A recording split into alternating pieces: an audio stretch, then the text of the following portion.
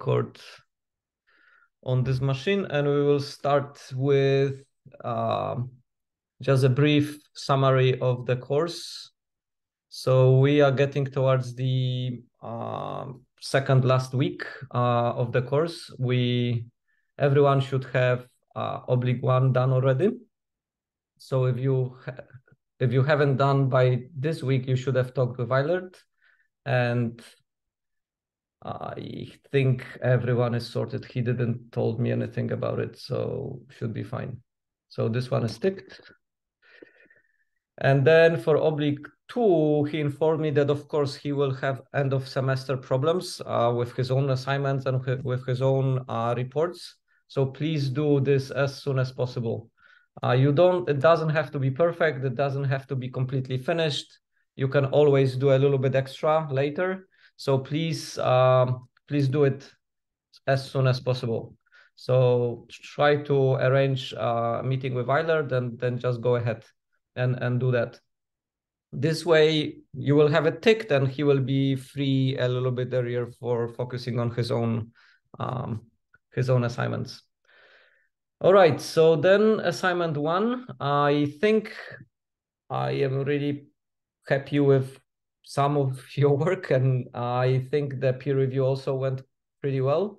I will give feedback later on. So I will um, probably not this week, but maybe next week or the week after, because we I can give you feedback after the course. It's not a, a, a like I don't have a deadline on 28th of uh, April.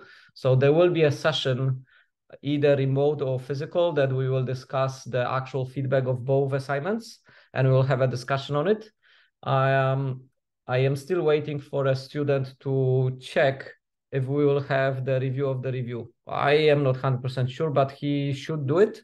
So then, as we were discussing on Discord, it will be a short session, and then you will have a couple of questions related to the quality of the review that you got from other students. So that's what it is all about. It should be very easy to do and very quick. So not no extra work. Uh, hi, Cecilia. Good morning. I have uh, notes here. All right. So then this will possibly come. I will let you know, and then I will advertise it. It's not. Uh, it's not tested yet, so that that feature is a work in progress. All right, related to assignment two, we had quite a good uh, discussions uh, in Discord, and I will come back to that after the main lecture. So in, in the main lecture, we uh, will do a couple of things, and then after, I will talk about assignment two. So in the main lecture, what we want to talk about is first, uh, we will talk about word count. We've done word count before, um, and I think you are pretty familiar with word count. So if I, for example, like, so I will do a little bit of light coding because it's easier for explaining what is happening. So what I will do is I will generate um, stack new workout word count. Yes, we can do that. Well, let's, because I already have this folder, so let's call it WC. Okay, so if I go to WC, and WC is already an existing uh, command in Unix systems. So it is used for counting uh, lines, words, and characters. So if I feed to it what is generated for libc, uh, lib.hs, it will tell me we have six lines, 14 words, and 88 characters. And if I um, if I display it, then it is what it is. So it's like one, two, three, four, five, six lines, correct. And then 14 words, one, two, three, four, five, six, seven, eight, nine, 10, 11, 14. Yeah, I don't know how the words are counted because this will be a single word, but this will be a single word. Ah, yeah, this will be a single word and this will be a single word. So it's like one, two, three, four, five, six, seven, eight, nine, 10, 11, 12, 13, 14. So it's correct as well. So 14 words and so on. So that is what word count is doing. And we will implement our own very quickly. So I will open code. Yes, I trust you. Okay, so how we would we do um, word count in Haskell? You can code along, so please open your own stack project and try to do it. Or if you want, you can try to do it in, in uh, Rust as well. So let's do it very quickly here. So I will rename my func to word count. Okay, I will say my word count. Okay, so what will word count take? I could have it such that it will take a string. And then what we need is we need three things. We need the number of lines, number of words, and number of characters, right? And then we have to implement it. So uh, word count will take some text and then we need to return this triplet. So we need to return number of lines, number of words, and number of characters. And then we need to get them. So how are we gonna get them? Well, it's pretty straightforward in, in Haskell, correct? So if we have the whole text, and we want to get the number of characters and the text is a string and string is a list of characters, then we say, well, you know, number of characters is effectively a length of my text. Great, so we have number of characters. How about number of words? Well, yes, same story. We will get the length of the words from our text. So words tokenizes all the text, separates the white space from the word tokens, gives us a list, and then we count the we count the length of it. And then the final one is lines, number of lines, and it's effectively the same thing, right? So that was pretty painless. Okay, great. So we have our implementation for word count in Haskell. It took like, you know, no time at all. Um, how long it would take you in Rust? Okay, try. Uh, do it in Rust. Is this implementation a good one? Well, we're gonna see in a moment. So, well, how are we gonna use it? Well, in the main, we have to, okay, so in the lib, we have to say WC is exported, it is. In the main, we have to say that we gonna call it. But we could do this. We could say do, and then we need to get the text from get contents. And then we would have to get the, so let number of lines, number of words, number of characters equal WC from text. And then we would print or put string line and then we would print, pretty print the results. So let's do that. Uh, number of lines first. So we will say show number of lines concatenated with some spacing. So we will do tab concatenated with show number of words concatenated with some spacing. And then the final thing is show number of chars. Perfect. So then we have our implementation and we have our implementation. And then we go back here and we say stack build to check if there are any problems. No problems. So then we will say WC of source lib to just have a baseline so the baseline is 10 lines, 36 words, 218 characters. And then we will do the same for our implementation. So stack run dash dash. And voila, it reports exactly the same data. So our implementation is consist consistent with the Linux one. And then, or, or bash, uh, and then it, it, it works. So is it a good implementation? So looking at the code, we see that it's it looks not bad. Um, we're using a string and we've heard, yeah, we should not really use uh, string in production. Okay, Cecilia is saying, yeah, so number of chars is counting the is counting the white space too. So the length of the, so our implementation here will count all the white spaces too. So the, the number of characters is correct. It's all the characters, including the white space.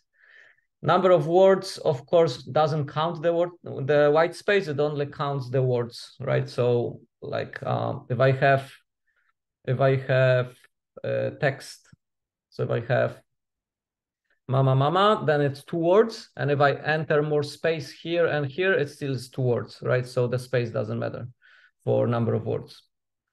Okay so then uh, when we look at the implementation we say well it, it looks kind of tidy. It, it looks okay.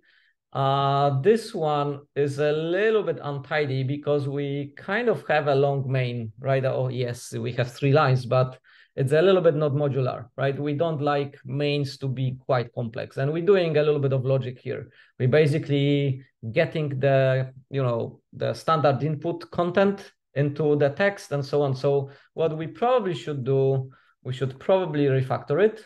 So let's call this function word, uh, word count um, pure. So I will say p.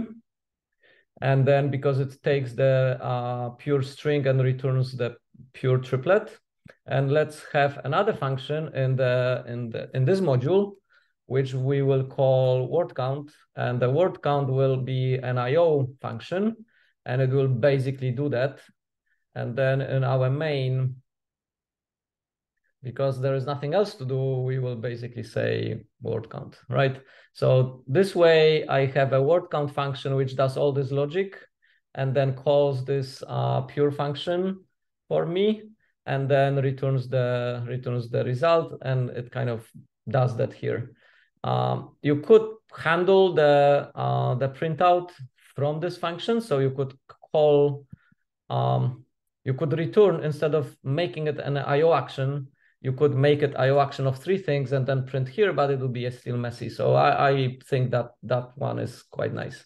So then you could probably add some comments, right? So count lines, words, and characters from standard input. Okay. Should I be commenting here? Yes, I probably should comment here as well. Okay, so let's save this and let's rerun it again just to make sure that we didn't broke anything. Yes, we did. We broke the export because we are exporting P now. Perfect. So let's do that. Ah, uh, yes, and we need to be nice to the type system and we need to say that main Right, so main is a function which is an IO action. All right, so then it's nice. Code-wise, it looks nice. Uh, it works. Okay, so how can we assess? Right, there is a question. Let me see. Alexander, forgetting the words from a string, at least we can use split white space, collect. Yes, in Rust, of course, you can do that. So that's nice. Rust is not that's terrible. Uh, and then just to clarify, okay, so Ferdinand is asking the logistic question uh, about assignments. So I will put a note here. So uh, both assignments can be in the same language. Okay, no problem. We, we originally thought each assignment needs to be in a different language, but if people want to specialize in a single language, for example, you love Rust, you want to do everything in Rust, or you really got into Haskell and you want to master the Haskell type system and do one more assignment with Haskell, go ahead. So no problem. Uh, both assignments can be in the same language. It's up to you.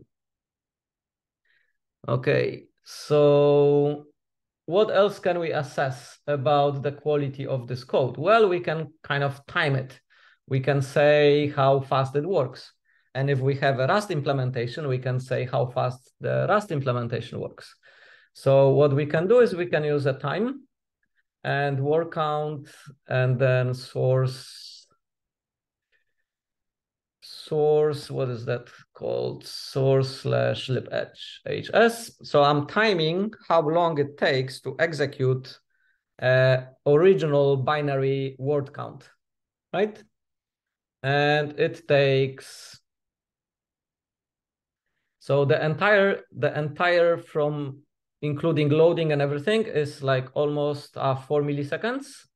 And it's split for the user time. And that is usually the IO, like reading uh, from the files and so on. And then the processing is pretty fast. So we can see that IO is pretty much the bottleneck here.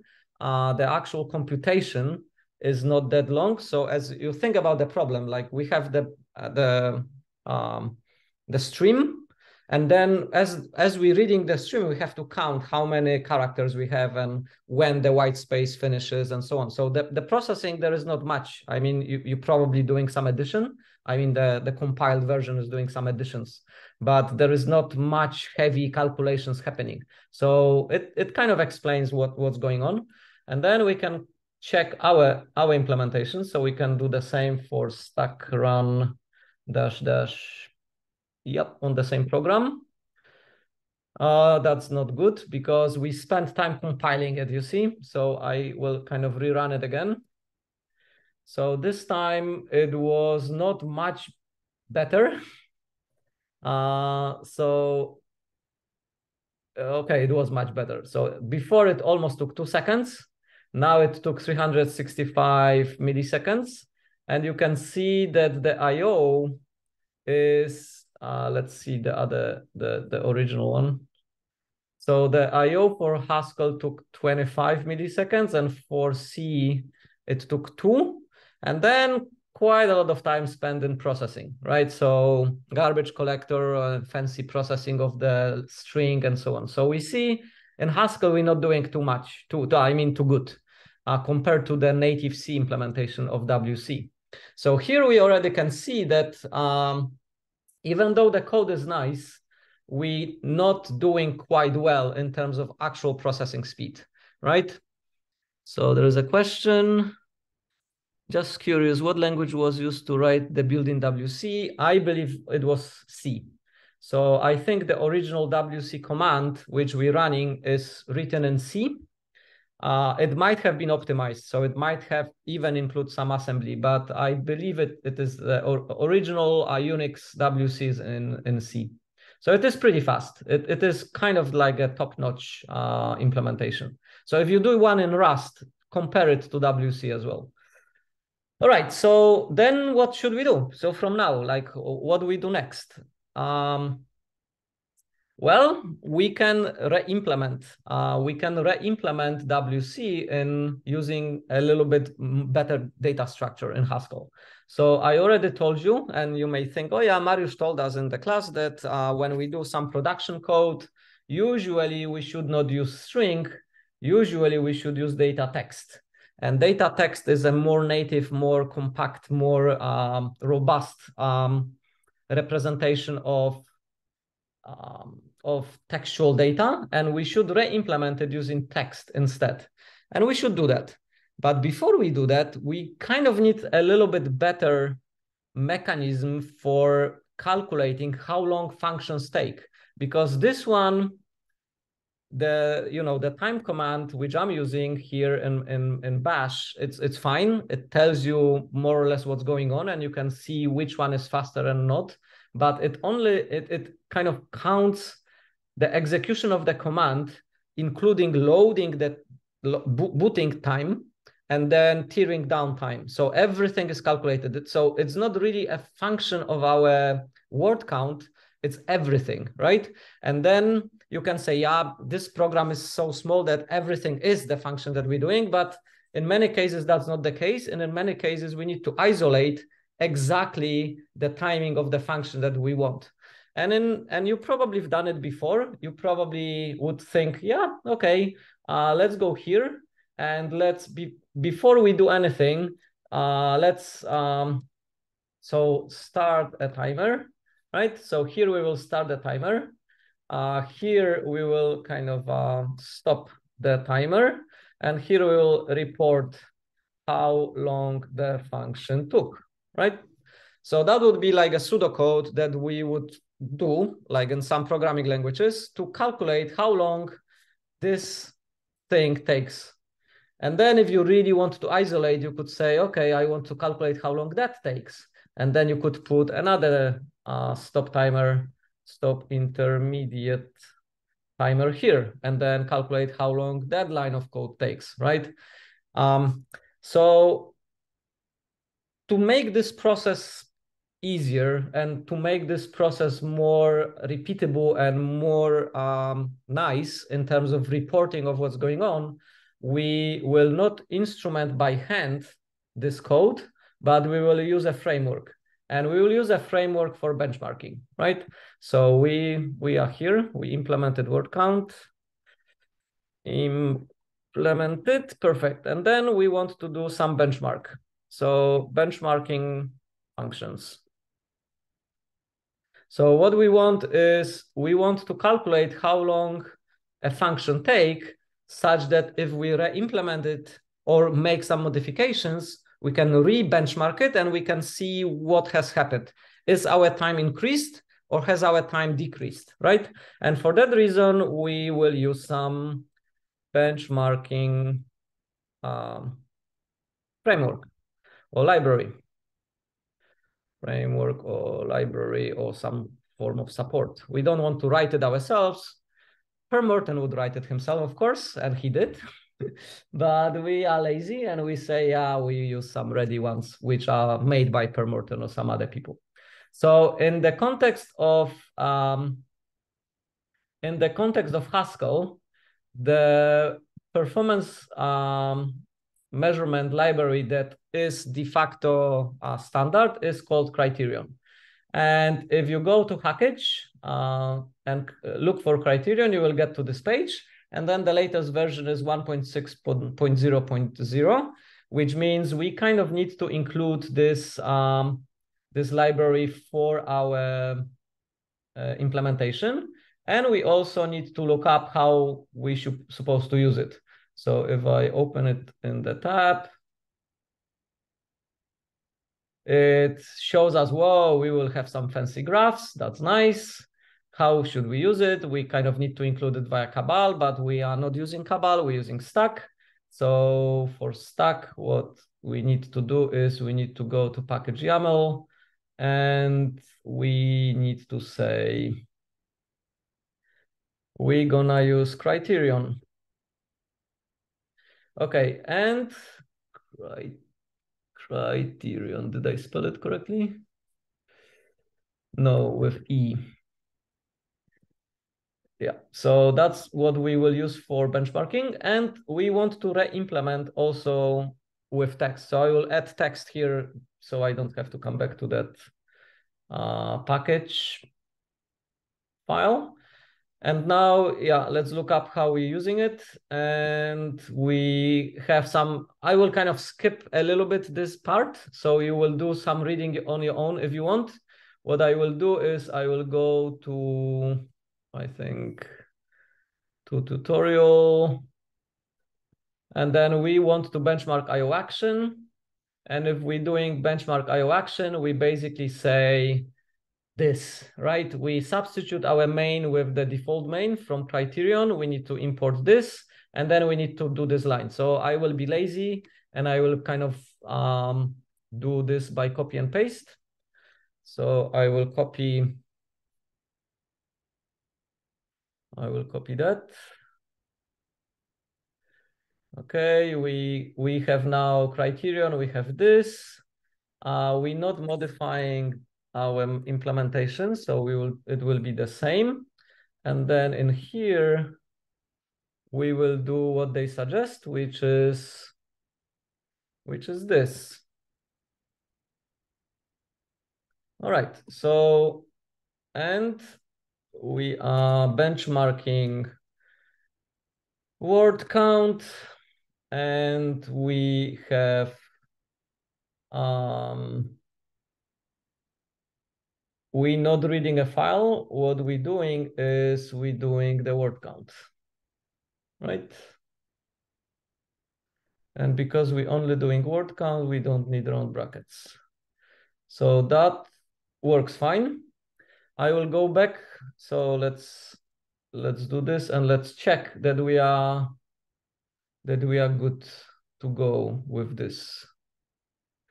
So stack build. Are perfect. So in fact, it will already work. So what I can do now, I, I can say stack run, and then I can say, um, if you look into um, how do you generate? Yeah, so you basically run it and you say what output HTML file you want such that you can look it up later, right?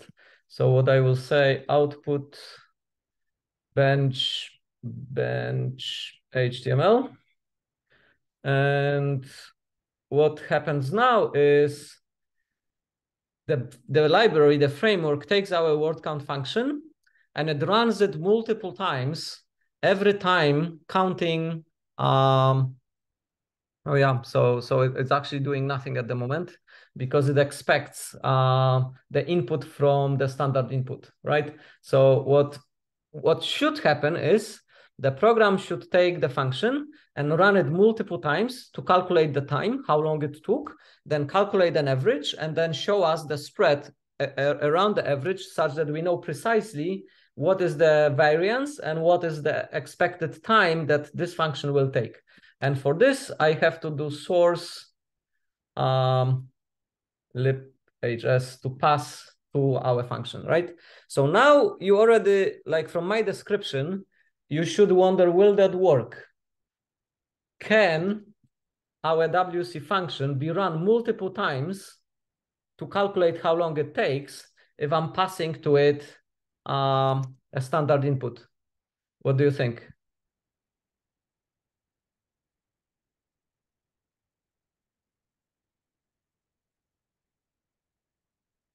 Anyone?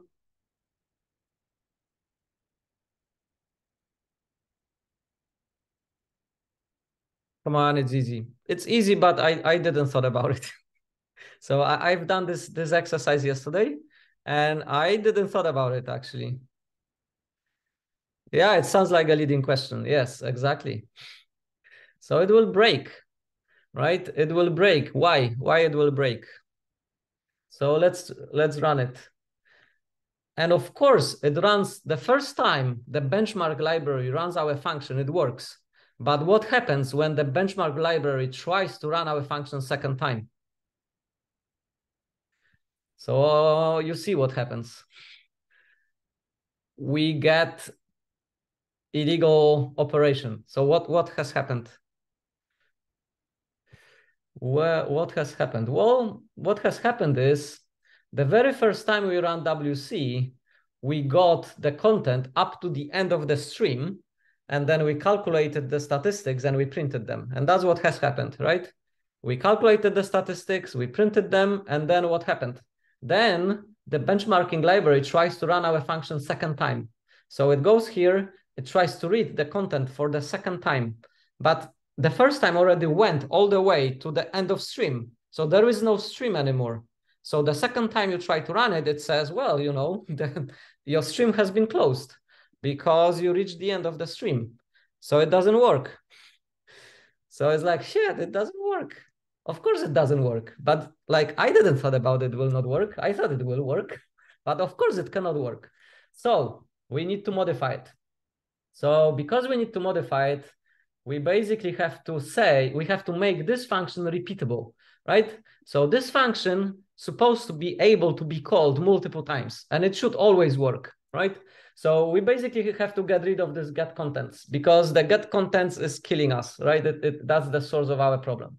So what we will do is we will say input file, uh, which is uh, file path. And then we'll say input file is, um, in our case, it's source leap HS. That's what we use for testing our, our implementation. And here we will replace it with a different call to read file and input file. Yeah, let's call it input file name such that it's very descriptive. All right, so then what, what I did change is instead of reading from standard input, I'm reading from a file and I can call this function multiple times. So then it, it, the behavior is exactly the same. It's just that, uh, so just to prove to you that the behavior is exactly the same, let's call main WC, WC, and let's comment this for now to rerun it such that to double check that our our implementation uh, that's WC. Okay, so stack stack run. Okay, so it complains that I'm not using criterion because I'm not using criterion, but it works fine, right? So uh, let's double check that it calculated correctly, yes. So 10 lines, 36 words, 20, 221 characters, it's all good. Uh, and our new implementation works exactly the same. And we're using the, yeah, by the way, now when I'm, I run a WC, uh, yeah, for the original WC, I have to pass. But when I'm running stack, uh, I don't need this anymore because we're reading from a file, right? So that's that's what it is. Okay, so let's go back to our original implementation and let's try what the benchmark will tell you, tell us, right? So I, yeah, I will rerun it.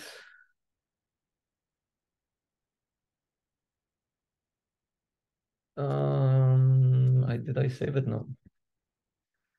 Okay, so when I rerun it, it will have to rebuild it.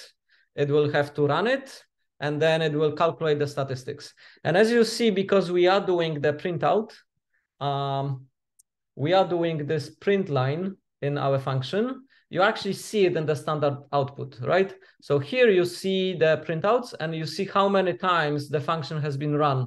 So you see that the function has been run for many times. And then we did have, um, yeah, I should say output bench HTML. So let's redo it. Okay, and then I can open bench HTML. Should I use a bigger function, uh, not, not a bigger function, a bigger uh, input file such that the function takes longer time?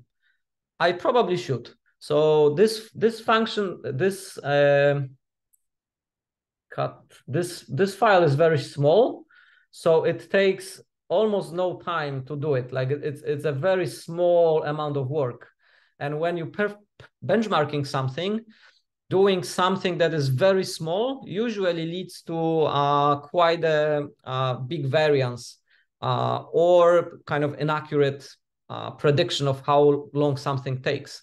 So it's good if you could run this function on files which are uh, short and longer and even longer. Uh, and when you do that, you can include kind of a group of benchmarks here, and you can um, benchmark like a short file, medium file, and large file. And then the benchmarking library will use that data to, to show you kind of a more insightful information of what is happening with your size of the input growing. Uh, because it's just a demo, like I'm only only conceptually explaining to you what's happening, we will continue using this very small file as a test. But uh, we and and the main reason is because it, it, it's really fast. I can show you. I have a bigger file, so I have. Um, no, I will not show you, but I have a, like a hundred megabytes text file which I used for tests and it takes like um, 25 seconds to process it. Uh, and then the statistics obviously take much longer to collect because the benchmarking will have to run it multiple times and then multiples of 25 seconds, you know, it ends up hours. uh, and then you get the statistics after a while, right? So normally you should use a bigger file, but for the sake of the brevity of the lecture, I'm using the, the small file here. So let's open the benchmark results and let's see what we got. All right, it's on the other screen. Let me quickly grab that. So let's put it here. That's not the one which we want. The one which we want is this.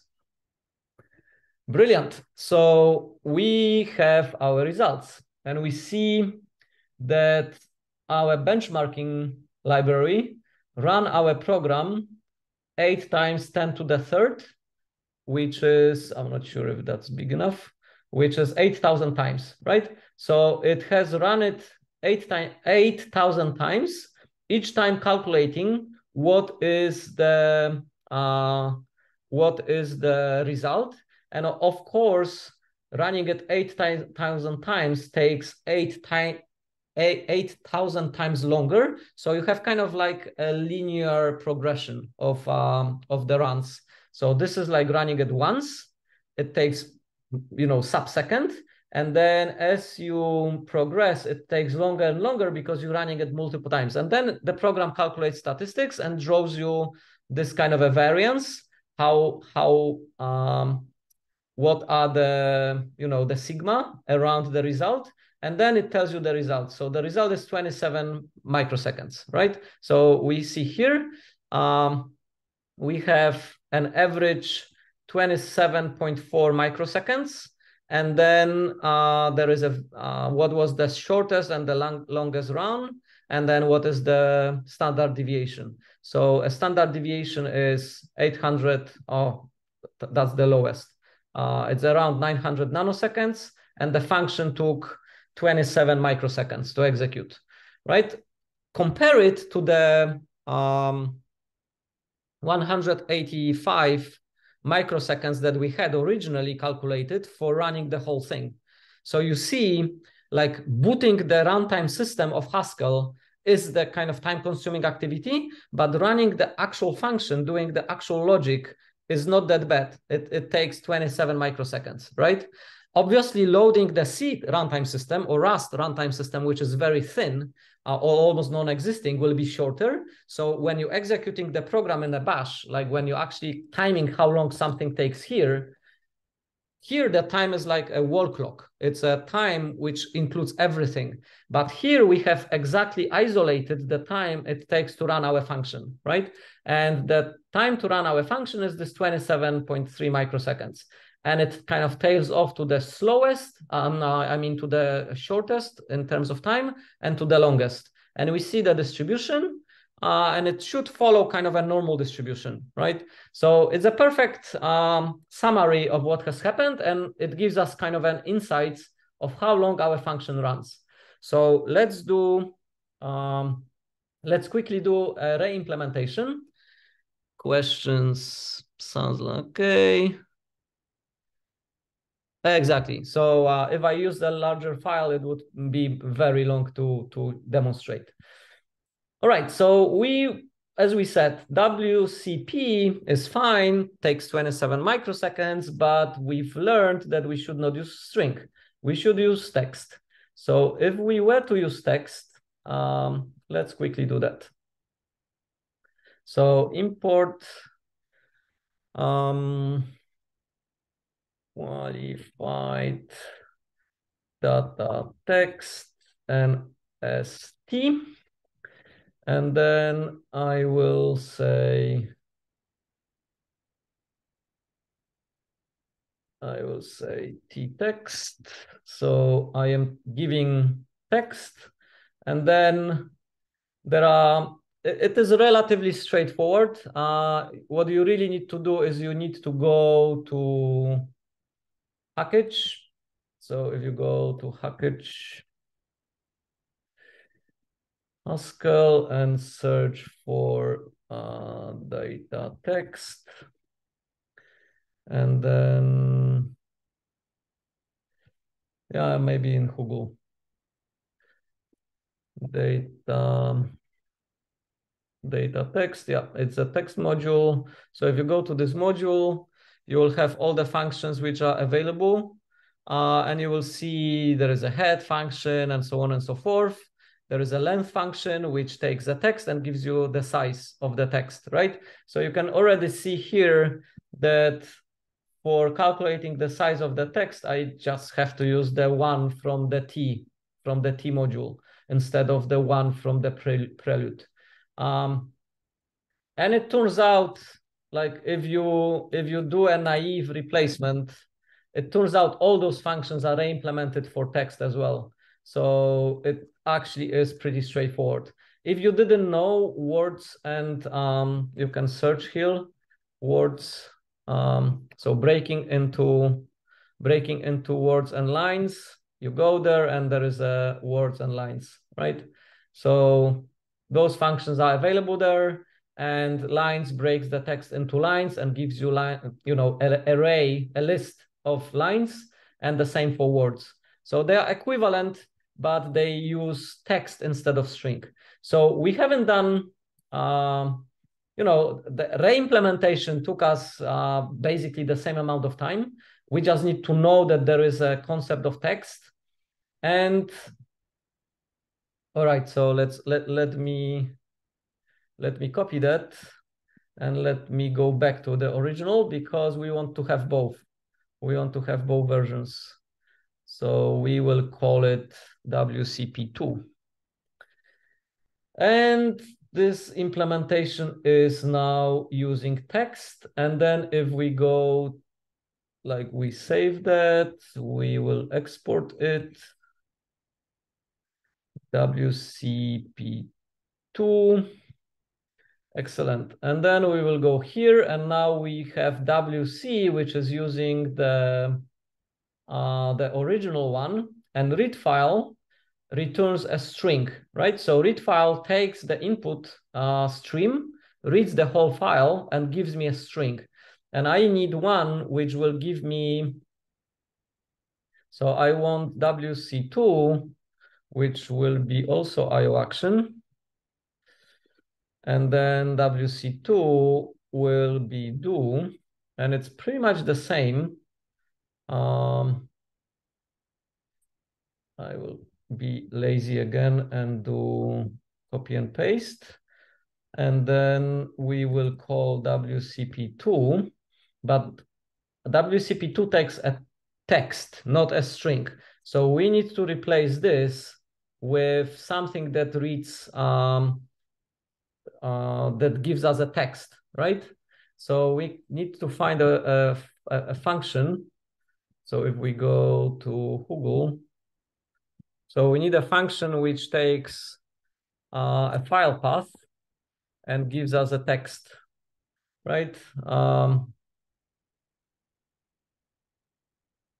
Right, let's see if there is a function like this. There isn't, but what about a function which takes a string and gives us a text? Yeah, there are some there are some functions like that, but no, no, no, that, I, I did it wrong. Let's do it again. So file path, and it will not return as a text, it will return as an IO text. That's right, right? We need read file. So a read file will take a file and returns us an IO text, and it lives in the data text IO. If you replace it with string, you will get to the original uh, read file, which takes a file path and gives you an IO string. And we need the one which gives us the text. Excellent. So we need to use read file, but the read file is from data text IO. So great. So what we will do is we will say we use import qualified data text IO as text IO. And then in here, we will say text IO read file. And this one gives us the IO text. This arrow unwraps the text from the IO context, and we have a text, pure text. We pass it to here, and then we have the results. That looks good. Uh, so let's go back to our tutorial um, because what we need to do, uh, we need to uh, write a benchmark suit. So a benchmark suit starts with the background group and then it follows with the benchmark and then yeah we, we basically need to do two things. So we want to use a benchmark benchmark group. Um, so let's go back here and say yeah let me see. So it's a default main default main and then benchmark is embedded in the ben benchmark group. So we need one more embedding. So we say bench no b group B group. And then we name it. So we call it um, word count. And then this one has an array or a list. And then you do have those benchmarks done inside that and each benchmark is named. So then we will have this benchmark followed with and we will call this one WC string. And then we'll have this one. And we'll call it WC2 text. Right. And we say WC2. And we need to close one more bracket. So let's try it out. If we didn't forgot anything. So stack build. Okay, so what you don't like? Uh,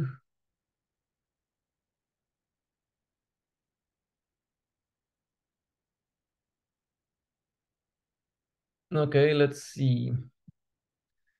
In here we are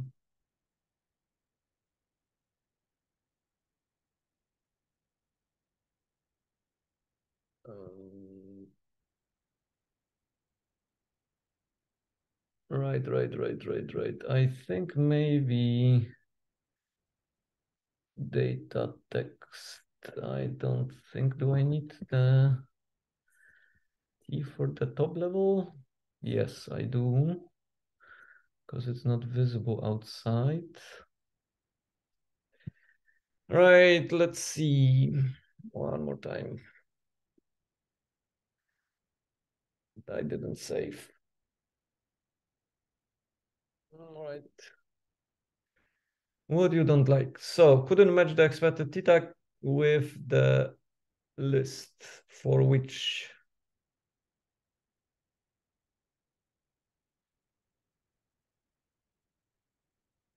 number of words, t length, t words, text.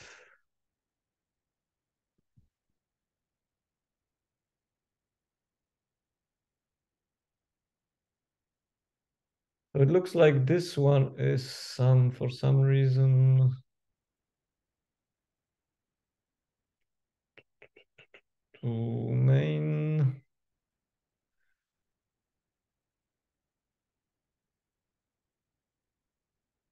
Yeah. This one looks fine. This is not complaining about the main, it's complaining about the lip. 921. Ah, yes, of course. So um, when we're using the length from this module, uh, remember it takes a text and gives you the length of the text. But this guy gives us a normal list. It's a plain list of text. So we're not supposed to use the other length. We're supposed to use the prelude length because it's a vanilla vanilla list, which is the result of that of words and lines. It's just a vanilla list of text tokens, right? So that was our problem. All right, so let's build it. Right, so now it complains about the closing bracket. It doesn't like the, so we need to have one closing bracket here and one in the that should work. No, why not?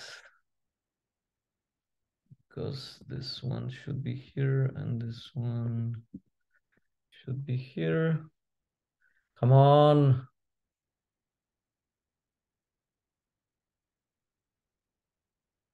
Okay, so let's close this bracket here. And this bracket, yeah, should be fine.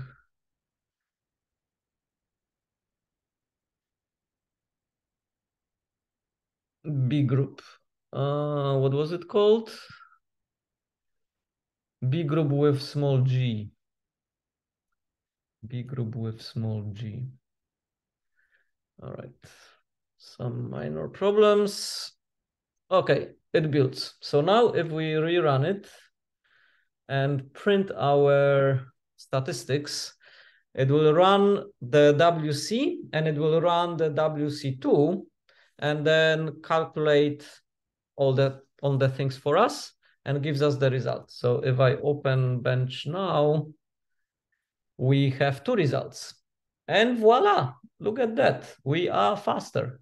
So WC, uh, remember that our um, that our input file is now longer because we've added that uh, some text. So WC now takes, remember before it was taking 27 microseconds, now it takes 38 microseconds because the input file is longer.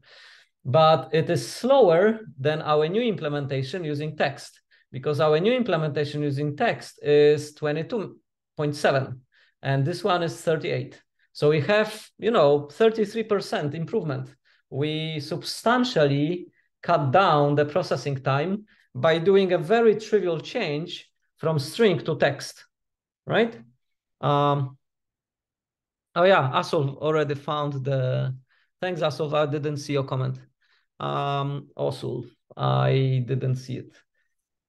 Cool, so uh, we see that we have um, an improvement and it is quite substantial.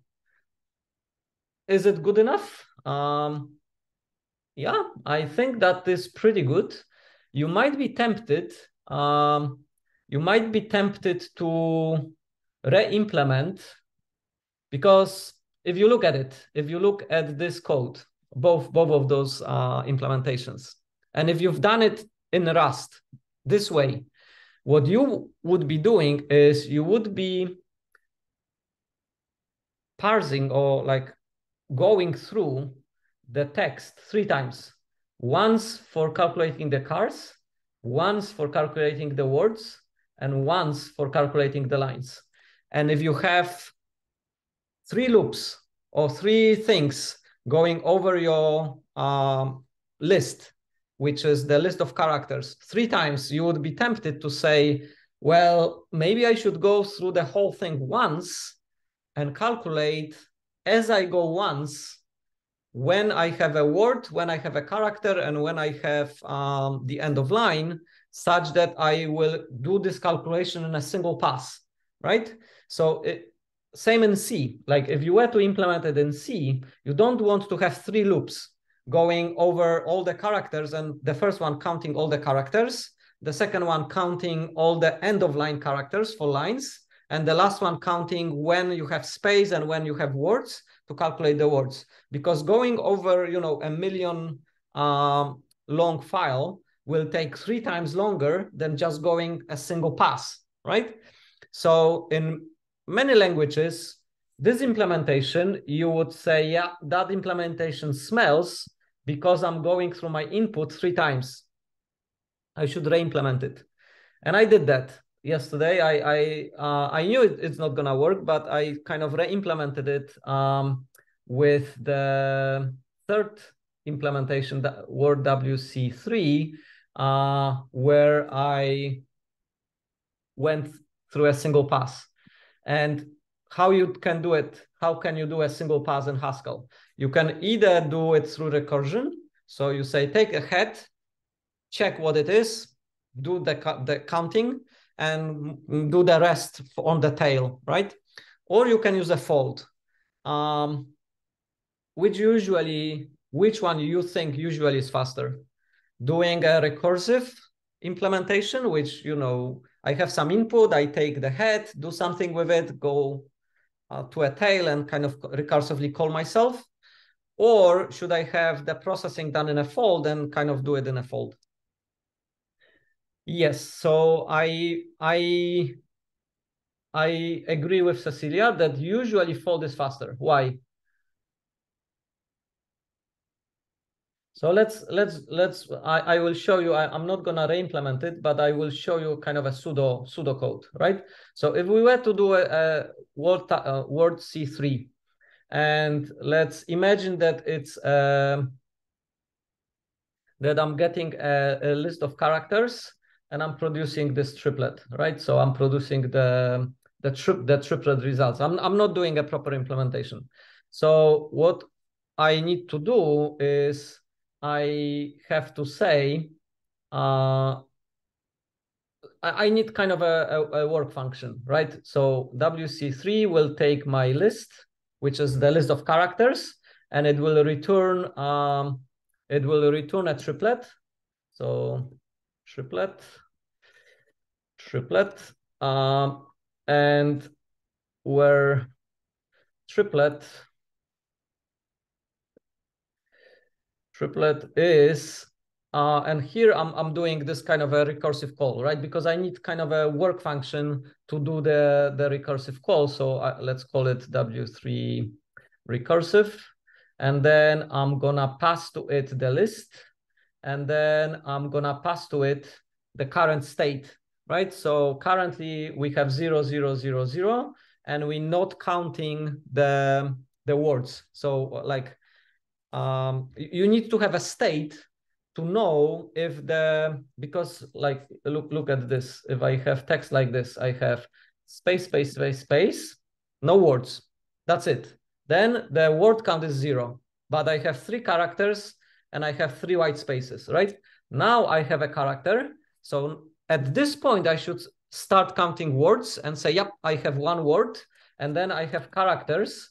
And then I'm, I'm saying, yeah, I'm not counting words anymore because those characters belong to the same word, which I'm already counted. I already counted when I hit A.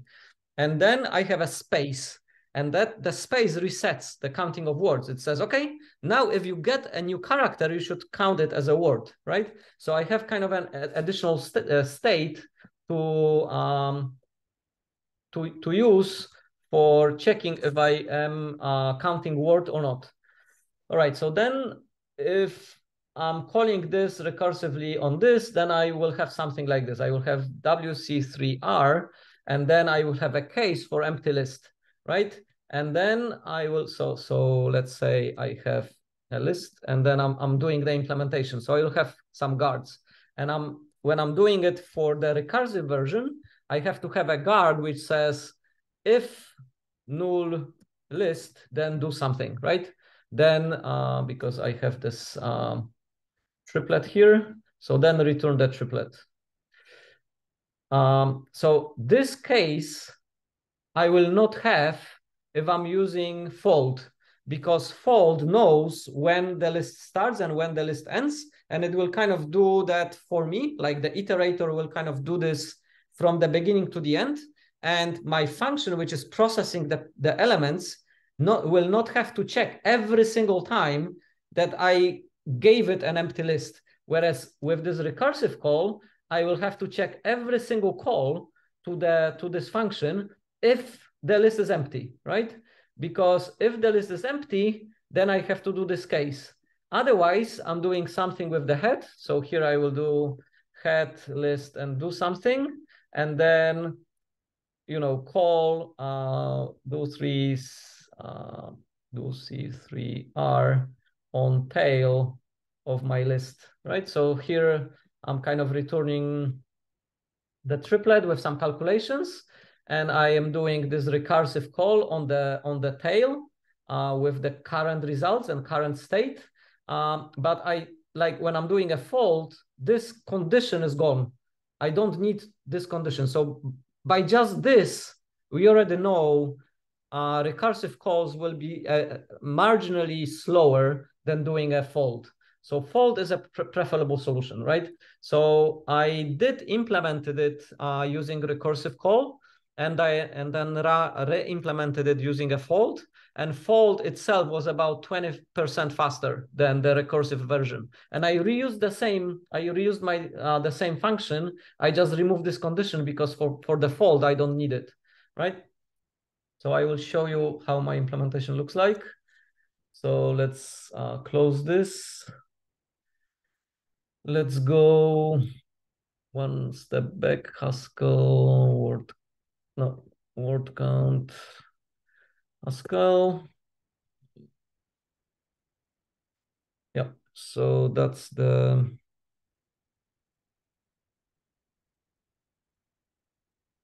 that's the implementation I've done earlier, and you will see the fold version. So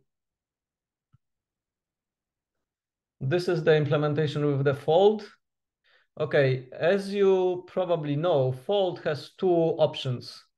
Fold has um, a lazy one without the tick, and it has um, a strict version with a tick. So if you um, if you're using fold, and you know you have to process the entire thing, especially if you're doing some uh, benchmarking, you do want the version with the which is strict. And the strict version will kind of evaluate things as it needs needs it, such that you don't lose some performance by keeping track of where I am at the moment and then folding it back. So it will kind of do things a little bit more imperatively in such a way that it will not keep kind of a postponing things until it has to evaluate them. It will evaluate them when the first time uh, uh, the call is made. The call is made. Okay, so what what are the usual things here? So um, as I said, we have to keep track of those three things, plus whether we're counting words or not. Um, and we have some uh, some guards. And as you see, I, I I I don't have this guard for an empty list because I'm kind of processing characters here. So if I have the end of line, I'm adding lines. If I get a space, I'm adding characters, but not words, but I'm flipping the, the counting of words. Otherwise, I'm counting, if I'm counting words, I'm adding words.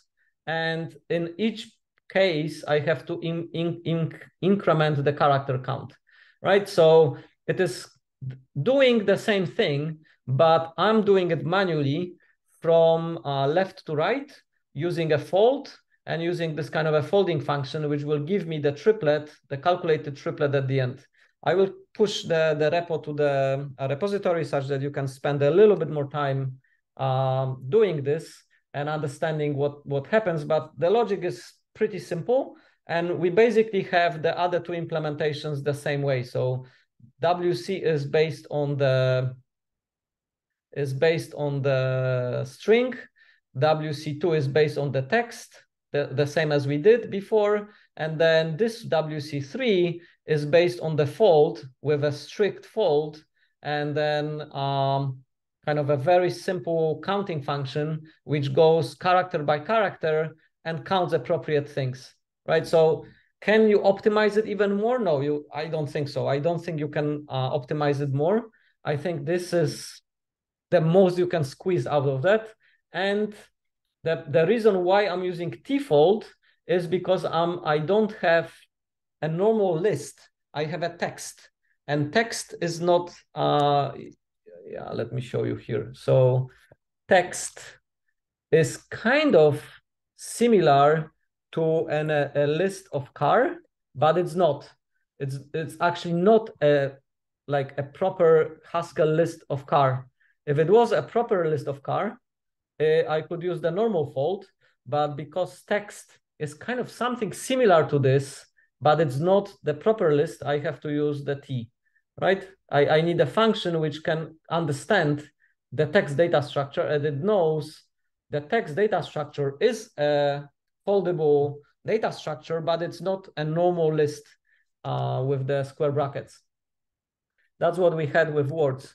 So if I use words on string, it gives me um, a list, a, a normal list of string of strings. And then if you do T words on text, it gives you a normal list of text, right? That's why length, you could use uh, length on, on this data structure and length on this data structure.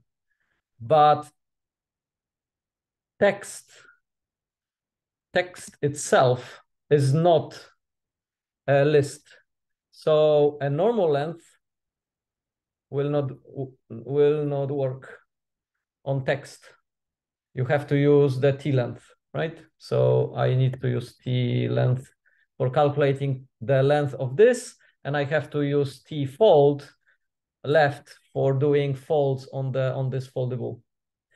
Okay, so that's about typing type system. And now we have those three implementations and we have WC on string, WC2 on text, and WC3 on um, on the on our fold. So let's run let's run it and let's compare those three.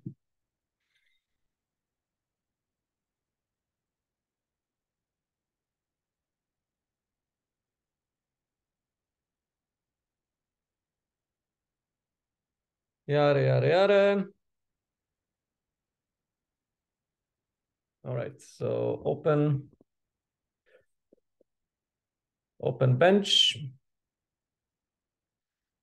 It's another thing, so uh, did I close it? All right, so here, here it is. So WC, that's the longest. Uh, WC2, that one is on based on text. And then WC3, this one was based on our fold.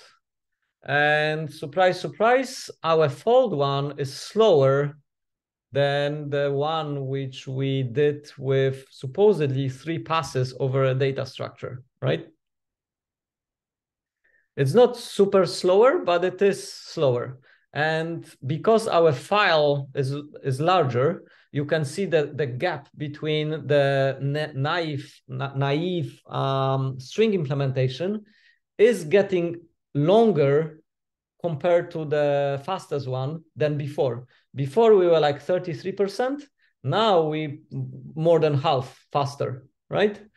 Um, why is that? Well, you know, th this one is inefficient. And as the data input grows, the inefficiency compounds and it's kind of slower and slower compared to the to the fast one, right? So if you did compare those two or those three on a larger data input, uh, the performance gains would be larger and larger, right?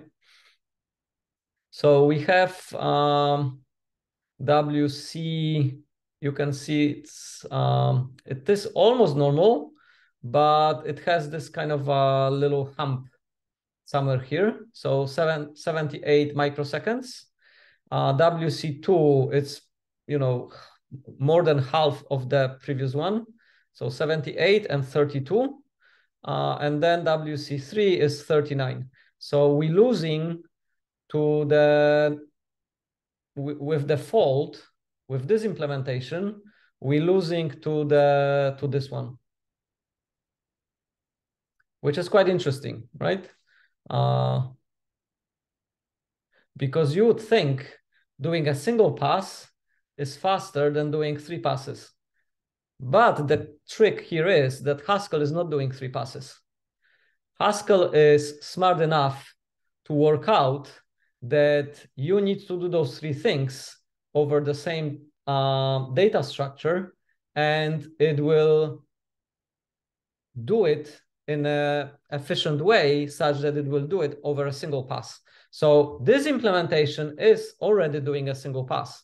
It's not doing three passes over your data uh, because Haskell can work out what needs to be done and uh, those three things, it knows they are done on the same data thing. Uh, so it needs to find a way to do it. In Haskell, of course, it doesn't matter if I reorder those lines. If I put this line before or after, like if I reorder all those lines, um, even though I have a do, but those three lines have let, right? So the lines which don't have let, like this line has to be executed first, and this line has to be executed after this line. Haskell knows that because I, I told it, look, we're doing some sequential computations here. I need you to, you know, to uh, follow my order. So this line will be executed first. This line will be executed last. But those three lines are with let. And what let tells Haskell is, okay, we have to have a symbol which is bound to something, but in which order those lets are done doesn't matter as long as they are done before this line needs to be done, right? So first of all, Haskell can do those three things concurrently, doesn't have to do them in the same thread. So that's already a, a big gain. Like if you were to implement it in Rust and you were to do it in a multi-threaded way, you would have to take care of it yourself. Haskell doesn't uh, doesn't need you to tell it this. Haskell can do those things in parallel out of the onset. Uh, second thing is Haskell can do all those three things in a different order. Uh, and also it can combine uh, processing some of the things which go over the same data structure uh, in memory kind of efficiently. So surprisingly, those three lines, even though we thought, yeah, they are quite inefficient, we have to do three passes, um, only um, you know, uh, naively inefficient. They are actually very efficient. And it turns out this implementation is the fastest because in this implementation, when I'm doing the fold, Haskell cannot parallelize anything. Uh, Haskell cannot run multiple threads because I told Haskell exactly what to do. And I told it to go from the head to the tail, uh, uh, like iterate once and do this logic, right? Um, so then Haskell has very little room for optimizations. It's exactly doing what I told it to do. Uh, there is only one let, so there is no space for reordering. And th that's exactly what, what I told it to do. So you can see that the compiler and the runtime system optimizing those three lines is doing better job than me doing it by hand in W3C, uh, WC3, right? Because you can see that my by hand optimizations are losing to the compiler. Of course, I'm winning with the uh, with the original string, but I suspect if I re-implemented this using string, I would be actually worse than the original string implementation using the naive three lets in the string as well, because the compiler could have optimized that better than me. Um, so yeah, the bottom line here is you've learned a little bit about how to use benchmarking, also how misleading your mental model might be. You basically have to assume your mental model is wrong. You, you always have to measure and see what actually happens. And the last thing is that the compilers, especially for managed languages like Golang or, or Haskell, are pretty smart. And then outsmarting them takes quite an effort. So a lot of times, re-implementing something in Rust or C++ will turn out slower because you're not doing all the optimizations that the compiler already knows about and the compiler is doing them in the higher order languages. Uh, that's universally obviously not true. You can make C++ and Rust implementation super fast, but you have to be very determined and you have to be quite precise exactly what you want to achieve. Um, so that that's um, that's basically the summary for the for those um, exercises that we've done today. Let me check the comments. Um, so Oysten. That's right. So uh, Osulf also say that uh, folds are faster because um, recursion has the cost associated with the function calls. That is true, although most compilers in most languages will uh, unwrap the function calls into a loop uh, and the loop will not have, uh, it, it, will kind of inline the, the logic of the function in kind of the longer loop logic. So there will be a loop, but you will not be paying per, uh, performance penalty for making the function calls Mo most of the time. Sometimes they cannot do it. So especially for tail recursive functions, uh, it will unroll it into a loop and then you will not have this penalty. For other recursions, which are not tail recursive, it cannot do it and then you will pay this penalty. So that's correct. Um, so I, I was just commenting on on this. Let me put the comments here because I I don't think you will see the comments. So this one was comment from Osulf. Yeah, that's correct. So then there is a comment um, from Oysten. So this one, what should we consider when balancing performance simplicity and readability? That's right. So that is um, that is a problem. Uh, that's a very good point. And let, let me read um, let me read uh, Cecilia's comment also. So, yeah, yeah, yeah, yeah. So this one is missing end of lines and then, yeah. That's the previous one. What I want is this one, copy. Okay, so your question makes me think about what Per Morten talked about. What I got from his lecture was that we should think performance from the start and take steps to improve performance, but without messing too much with how line function. No, so here we disagree with Per Morten. I, I disagree with Per Morten. uh, so the thing is, um, I think he's right, but I also think he's wrong. So the there is no black and white answer. That that is the answer. Uh, the answer is gray, and the balancing act is kind of hard. So when you look at the code, um, when you look at the code between WC and WC2, what is the loss of readability? What is the loss of um, uh, of maintenance? There is none, right? There is no reason to do this implementation. There is no reason at all to do this implementation based on a string. No reason whatsoever. So you should not do it. You should only do this one, right? Um, this one is as simple as this one, but it also is the most performant one. So in our simple demo, it turns out uh, doing uh, the simplest implementation with the right data structure is the right choice because it is the, the most the well performed one and it's the easy to maintain. Uh, how about this one? I tried really hard to squeeze out the most performance and then it I shoot myself in the foot. This one is really hard to maintain. This one is really error prone. I might have made mistakes here and probably if you were really careful, I will rerun it again. Um, look, I'm running the benchmarks again on our uh, lib file.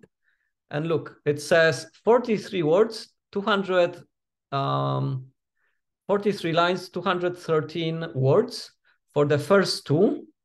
And then for the last one, it says 42 and 212. I'm missing one word and one line somewhere. Somewhere there is a bug which miscounts uh, one word and one one. Um, so it's in that implementation. So if I do again, look, we should have 42. So this one is correct. This implementation is correct, but the number of words is missing one word, right? Uh, compared to the baseline, to the to the you know ground truth. So I already have a bug. I have a small bug in this implementation, right? Yeah, it is error prone. It is complex. I should not be doing this. I should not be trying to outsmart the compiler. I should do this, okay? And then only when, when the compiler is doing the optimizations and it is still not good enough, then you start messing around. then you say, okay, I need to do something clever here. I need this to be faster and I need to do something to make this faster. But you've already implemented it and you've implemented it and then you have you have it in the charts. You know how long it takes because if you only did this and you didn't do uh, if you only did WC3 and you didn't do WC2, you would not know if your performance optimizations are worth it, right? If I only did this and this, if I only did WC and WC3 and I said, yes, I'm the I'm the winner, I'm the hacker, I kind of uh, optimized away all this nonsense from here, I would be wrong. Because in fact, the compiler was still smarter than me if I used the naive implementation. So the suggestion from Per Morten that you should always optimize and always think about performance is correct. You should think about the performance, but you should not be hacking around too early. You should be doing readable, reasonable implementations. And then if you really need to squeeze more performance out of it, you should be hacking it. But then you already have a baseline and you know if your hacks are kind of doing anything positive. My didn't. So it was po pointless maybe you can, right? Maybe you can take this code and you can come up with a way of outsmarting the compiler and making the word count faster. And I challenge you, uh, you can try that, right? You can try to make word count faster than this implementation. And then you can easily see if you win by comparing it to this implementation because you have the framework to, to do this checking. Um, so you should be tinkering with the optimizations and performance only in the context of benchmarking. When you're writing code, you should be making reasonable decisions. Uh, using uh, words and lines was a reasonable decision. Using string was not. Uh, you should be using text, right? Um, that's that's the kind of the moral of the story. Uh,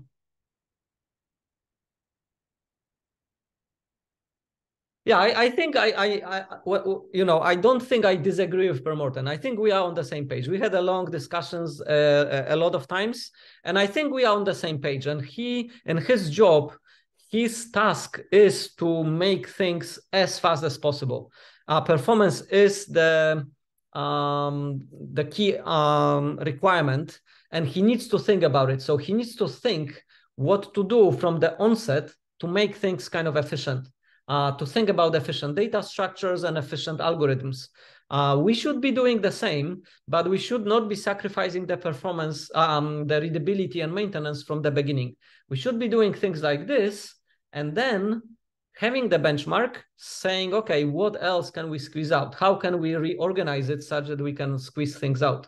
And I don't think um, this code is the good way to go. Um, maybe I don't know. Like I I I don't really I cannot think. It's like it's it's a too simple problem here. I don't think I can beat the um I can beat the Rust compiler in this particular problem because it's just too simple and the compiler already squeezes the most of it.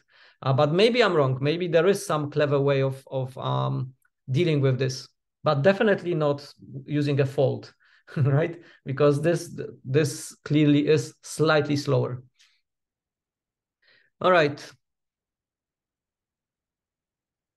Yeah. So um, Cecilia says that we should start with the simplest simplest solution first, and then try to rework it. Um, so that's that's the rule of thumb. It is hard. It is hard also to see what data structure should be using and what will result in the better reliability, uh, readability or a better um, performance because it takes with experience and if you don't have this experience or you know um, baggage of uh, playing you will not know. So you just need to gain this experience. And while you're gaining this experience you will make wrong decisions. You will make wrong choices. Um, so that's fine. You can always redo it. Um, okay so we have uh, five minutes left. So i want to talk a little bit about the um, about the assignment too because in assignment two, the performance is not an issue. Um, so there is one more. Since text is faster, is there any reason why we ever should use string? that's a very good question. This question has been asked on a Haskell mailing list a lot of times. And people were saying, why we even have, you know, string in Haskell if you can uh, make everything using text and you can make text to be the default. Like if I if I do this, if I say, you know, this is text, why this is string instead of this being automatically a text? Um, if you use uh, overloaded strings, if you use uh, language overloaded strings, this will be a text when you need a text in the function, right? Uh, so you can kind of force it, but you have to do this. You have to do use this extension, and you have to kind of uh, manually manage that. Um, the answer is that for historical reasons, uh, somehow there is a certain appeal for a string as I explained, to be an actual Haskell list over characters. Uh, there is a certain, um, th those two things are the same, right? So string is an ordinary list over characters. And that has a certain educational, let's say, or historical appeal. Um, and that's why we have strength in the um, because it is a proper normal it is a normal a normal list whereas text is not a list right? It's not a haskell list. Um, and that's the only reason uh, which i think is very weak i also agree that text should be the default string in haskell like actually there should be no string it should be just text uh, and then if you want a normal list of characters, you should have, there is a function on text, it's called unpack. Um, so if you if you have a text, if t is a text, and if you say unpack, unpack, I, uh, from the module text, if you say unpack t, it will give you, uh, it gives gives a normal list of car. So it actually returns this, right? And then you can you could use it as if like as you as we are currently using string. Um, so I guess it's a little bit of a community dilemma. Like some people are somehow attached to the string for historical reasons, uh, and then it kind of lingers. I think at some point it will change, but Haskell community is quite conservative and it takes a while. You see those decisions sometimes being a little bit illogical, especially in Rust. Like you see them a lot in Rust. Um, but here, yes, I agree. It should be a text. Okay, so we have two minutes to talk about assignment two. Uh, so maybe I will do it uh, in an additional session. Maybe I will record a short video for Thursday. Unfortunately, on Thursday there will be no lab. I have um, I have to be somewhere. Um, so two minutes, very quick. Okay. So pseudocode. Um, I want to stress so assignment assignment two. Um, pseudocode everybody knows what it is, but I I bet none of you tried it out. Like none of you tried it out. What would you like to have for your implementation? Okay, and I think that's a kind of a mistake. For very complex problems, it, it is very useful to conceptualize in your head and under your fingers what would you like to have as a result of your design, right? So we know we have a problem. We we writing um, we writing an implementation for our uh, operations, and then we need to have a little bit of a mental mechanism of what we would like to achieve. So, for example, if you want to uh, implement a behavior for a plus operator, right? So plus, a token plus will be represented as some sort of a operation in your type system let's call it uh, operation add. And then you will have some evaluate um, evaluate function conceptually. Uh, and then evaluate will be evaluating different things. In our case, it will be evaluating kind of uh, operations. And you want, at the end, you want to have kind of a, a result. And the result can be an error or it can be kind of a correct behavior, right? So we already he here know that we can kind of result in an error or correct behavior. And what is the correct behavior? Our operations kind of take data from stack and put data back into the stack. So the plus will be kind of a manipulation of the of the program state or program stack, right? So we can call it program state. So we have either an operation, um, when evaluating an operation, we can either an error or a program state. So if I'm evaluating an operation for add, what would I like to, like, how would I like to this to, to be? Well, I would like it to be like this. I would like to say, um, get me first um, left-hand side. Um, it's actually right-hand side, right?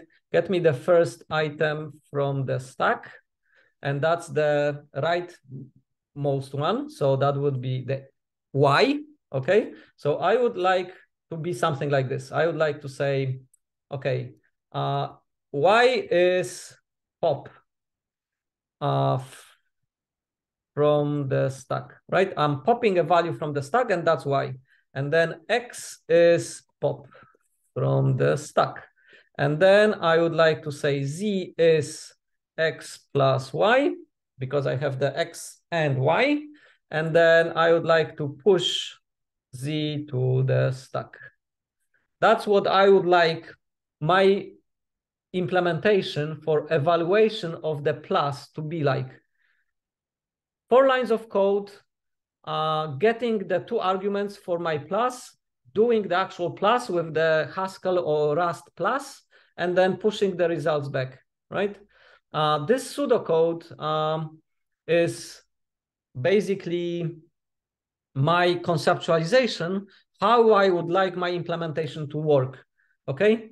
And I need to organize my data structures and I want to organize my facilities in my implementation such that I will get this, right? Um, this pseudocode is really helpful because it kind of navigates your dream, navigates your implementation solution, right? So then I can, um, if I go to, uh, let me quickly go. Okay, so is this clear? I think this is clear. So I will show you my evaluate. Um, I will show my implementation in Haskell for evaluate the plus operator, like how my interpreter is actually implemented. Um, and my interpreter is implemented like this. I'm getting Y.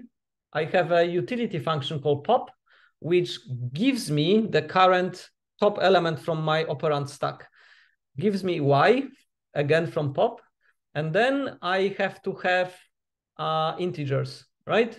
If those two are not integers, I have to do something else. But if those two operands are integers, then I'm basically doing the plus and I'm doing the push, right? So I'm doing this. Okay, if those two things are not integers, well, I may have an error, or I may coerce the values to integers or to floats and do the the, the plus. I, I'm deciding here, right? So I decided that if those values, if the if those two values can be, they are not um, v, v ints, they are some other type. They can be a string, they can be floats, they can be boolean, they can be whatever. But if they can be coerced to a float, I will coerce them to a float, both of them, and then I will do plus on them. And then I will push that value to the stack. Or if I cannot do this, if I cannot coerce them to floats and calculate the sum, then I will have an error, right? So my implementation for dealing with add is very similar to my dream of the pseudocode that I originally planned to have it's almost the same initially, but then I have to deal with some edge cases. I have to deal with the edge case of the of them not being ints or them being something else, and then not being able to do this plus, right? And some error handling. What happens if I cannot pop something from the stack.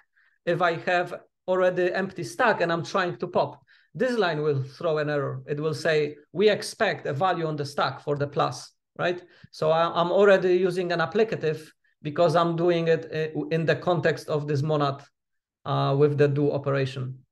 And this is pretty neat. This implementation in Haskell is very neat. And all you need for this type of implementation is a state monad. Uh, state monad allows you to keep track of a state. Um, and then um, I, you know, what is the signature of my evaluate? Um, well, the signature is evaluate takes a value and the value can be either a primitive value like ints and floats, or it can be an operation, and it returns a program state. And program state is my kind of a complex data structure using a state monad, which encapsulates the stack and all the other things internally. Um, and that that's all. Uh, and pop, pop um, has a signature, which is a program state right? It's um, it actually doesn't do anything. It uh, asks like you you pass it in the context of program state, and it kind of extracts uh, a value uh, out of the program state, and then you can use this um, arrow to kind of uh, sneak in a particular value. Yeah, actually, it does it does this. Yeah, so then you can sneak out um, the no yeah let me not lie to you. I i think it's like this because i can get the i can get the value out of the program state uh just um just doing this. All right we run out of time. It's seven past so i will finish here. Um what I wanted to stress is that if you do use pseudocode, then it will help you uh, to conceptualize what the final effect you want to have. And writing pseudocode is cheap. Uh, it's just like, uh, and you can kind of, you know, very easily conceptualize what you want to achieve. Uh, writing code is much harder and much more time consuming. And once you wrote this, you have kind of a mental commitment to kind of stick to it. Whereas with pseudocode, you don't.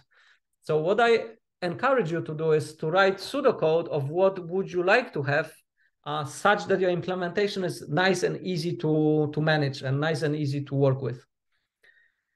All right, so that's all. I will stop recording here. Um,